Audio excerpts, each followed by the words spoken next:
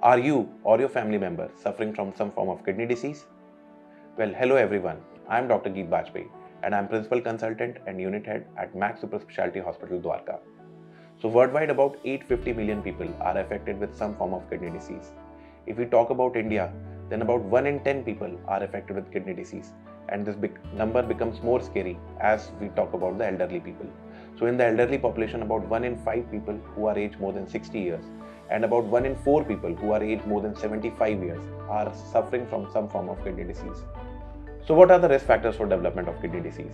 Well, diabetes, hypertension, obesity, family history of kidney disease, older age, people who have history of recurrent kidney stones or recurrent urinary tract infections, or people who have been suffering from heart disease or cancers or have been on medications for these conditions, or people who are using long term painkillers.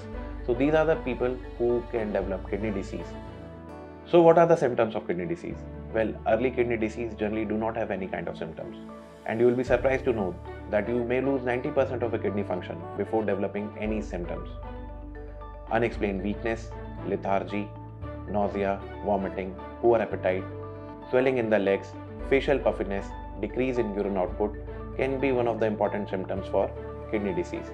Also, if you are noting froth in the urine, that is bubbles in the urine, which may signify protein loss in the urine, or blood in the urine, or if you are noticing decrease in urine output, or frequent urination, or you are getting up frequently in night to pass urine, which is called as nocturia.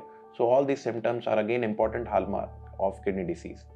Similarly, excessive dry skin, which is called as pruritus, or itching, or recurrent hiccups can also be marker of kidney disease.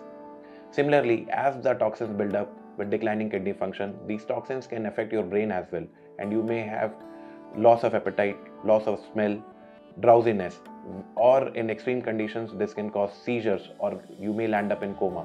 So, all these symptoms are generally considered advanced uh, symptoms of advanced kidney diseases. So, if you have any kind of symptoms of kidney disease, or if you have any of the risk factors for development of kidney disease, you should consult your nephrologist.